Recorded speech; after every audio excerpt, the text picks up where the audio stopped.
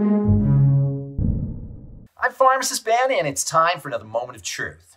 To deal with our vulnerability during these perilous times, we can learn a thing or two from some of the oldest and wisest entities on the planet the intelligent and conscious beings called trees. If a tree is to withstand a storm, it has to be flexible, and it has to be able to bend without breaking, and it has to maintain a strong root system. Likewise, when the crap hits the fan, we have to be flexible.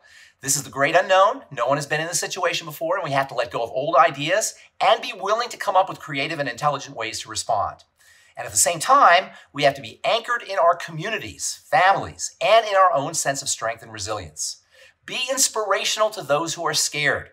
Contribute where you can, contributing time and money if possible to those who are in need. Sign up to deliver Meals on Wheels, go shopping for the elderly, call the United Way and see if you could volunteer, donate blood, donate food.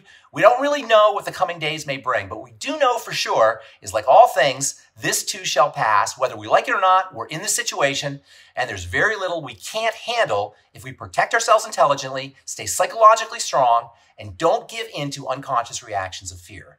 That's today's moment of truth. Have a beautiful day. We'll talk to y'all later. Bye for now.